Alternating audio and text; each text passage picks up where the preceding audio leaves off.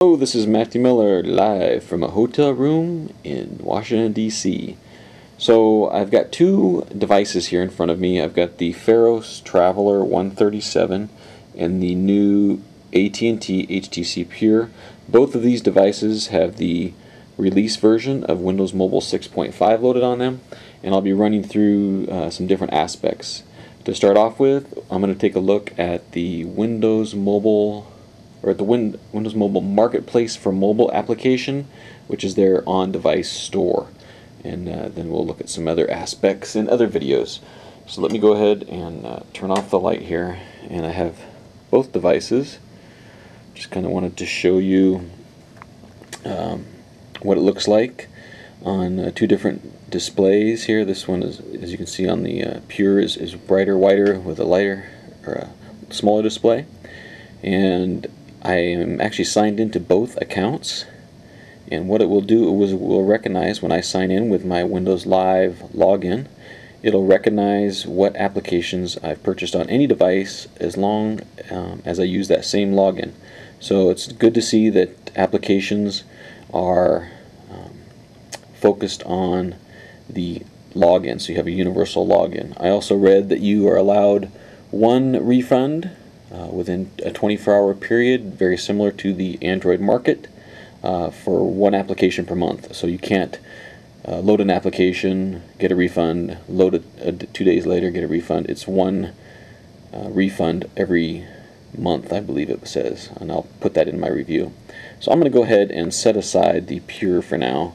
Um, because they're both the same when we look at the uh, marketplace for mobile. So I'll set that aside and we'll use the larger display on the uh, Traveler, Pharos Traveler 137, to kind of show through, show you and run through the marketplace from mobile.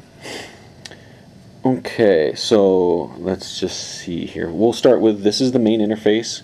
Uh, when you first launch it, um, actually on these devices, when I first launched it, it had me download this specific marketplace app because the devices were shipped before the application was uh, and the service was up and running on the Microsoft servers. I don't know if that'll be the case on your device. It may already have the application loaded um, on new devices. If not, it'll download it. Now, uh, the first thing you'll see is a sign-in and then accept their terms and, uh, and uh, specifications, which you can do. After that, this will be the screen you see. As you can see, there are some applications up top. Uh, there's only four shown. Go back. There is no scrolling right and left like I was thinking. Uh, up here is a search box so you can search for applications. You'll also see Showcase, which I believe that developers pay a premium for that particular Showcase offering. There will be most popular, what's new categories, and my applications. So we'll go ahead and look at a, few of those. And then uh, we also have the menu down here for signing out and for help. And as the help, you can see there's online, the privacy policy, and about. If we go to the about, this was just updated. That's the latest version that I have. So let's just uh, work our way through this. We tap on Showcase. Now we're going to see here, we've got a showcase of applications. Um, one thing I don't particularly like at this time is applications do not seem to be arranged in any sort of order. Um, much like the Ovi store, it's very random. They're not by alphabetical, they're not by developer, they're not by price. Uh, and according to the ratings they're not even by ratings so I don't know how these are organized or if people pay more to be higher up in the list if you tap over here you can see there is a filter for paid free newest so that may help uh, filter out the, the newest applications up top and all there are however no filters for price low to high price high to low uh, organized by name, organized by developer, some things that I would like to see personally. But let's just go ahead and tap paid and I'm on a uh, 3G connection with T-Mobile on this particular device. So there we see uh, paid applications in the showcase, this is. And if we tap here again, we look at the free, if there's any free applications in the showcase. And there are some, as you can see here. And then we just go to newest and see how that looks. And there we go. I guess it's it is arranged by date. So then we go back to all which is just kind of a random offering. Okay? I'll run through these different uh, main categories first and then we'll go into looking at uh, details of applications. So most popular, now we'll see there's most popular apps. So I'm not sure how this uh, is rated, whether it's uh, the most downloaded, um, because it's not uh, highest rated. It's uh, most popular, which must be per the downloads of the application. Okay, same kind of filters with paid and free and that kind of thing. And then if we look at what's new, this uh, probably should be the same filter as what I saw on the, oh, it will be different. These aren't necessarily showcased apps, these are just the what's new apps. And there you can see some of the uh, what's new apps.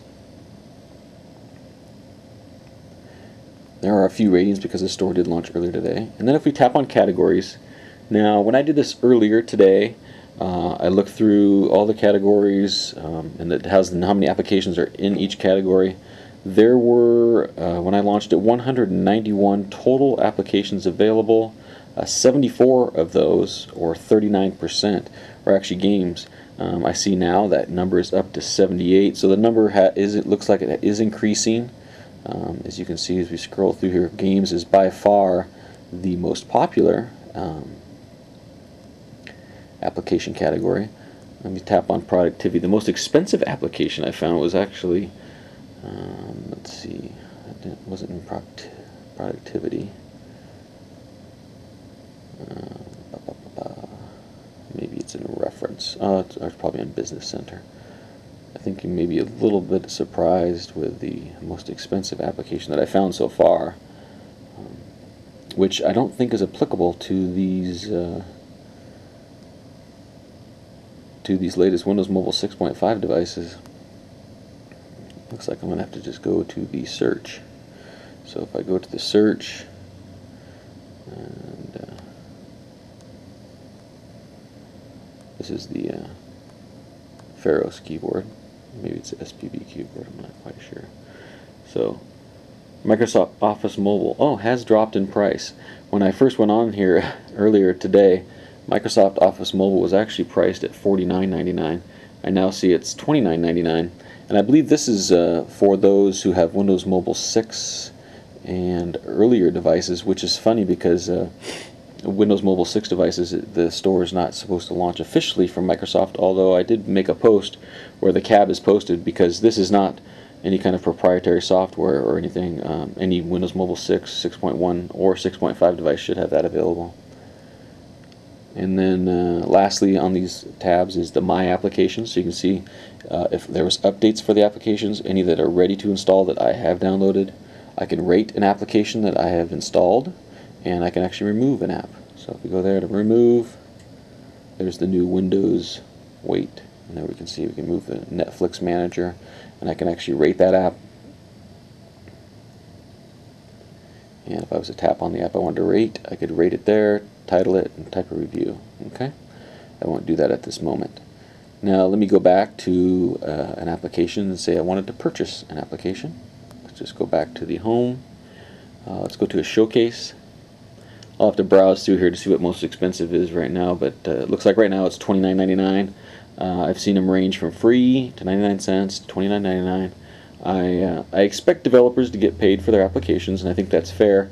I am seeing some uh, applications priced about the same as they were um, previous to the iPhone and everything to be 99 cents. And I do see apps like uh, Twikini, which is a Twitter application. I purchased that for $4.99 uh, just a couple weeks ago, which is no longer working.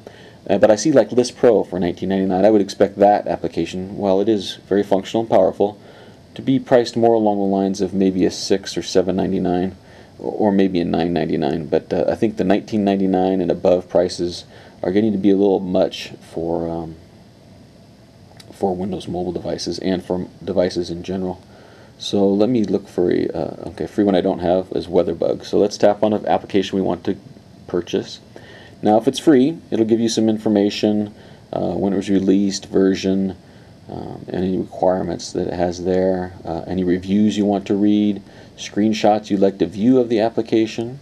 So if I tap on reviews, I see there's nine reviews. And then we can go, nobody actually left comments looks like, but mainly uh, stars. So if it's a free application, we just tap install and uh, be on our merry way. It'll actually install in the background so you can continue to browse the store. Now I haven't tried a paid app yet, uh, so let's go to something that's fairly cheap. And we'll see some of that process here.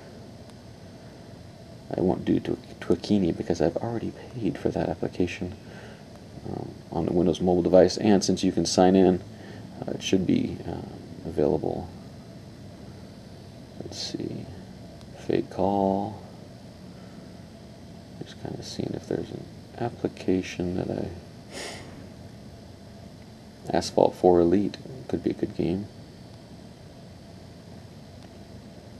Uno. I like I enjoy Uno. Let's tap on that so now that we have a paid application, it still says install there, reviews and screenshots, and it says touch and audio. Most of them are touch. Let's just tap install and see what happens.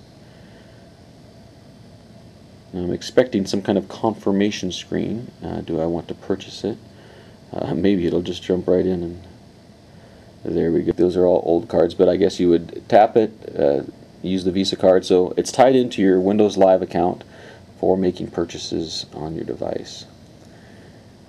And as you can see over here, you can bounce to home, search, and that kind of thing. So there's a look at Windows Marketplace for mobile, uh, for Windows mobile devices. It's nice to finally have an on-device store, and I have seen just in today the prices have uh, started to come down um, just from the original launch earlier today. I don't expect, as I said, uh, the developers get gypped and have to pay 99 cent apps. However, I would like it fair, and I think uh, some of them are, are aligning quite, quite, well. Uh, Uno there I would have purchased, and maybe I will once I figure out which credit card is valid. So that's a look at the Marketplace for mobile.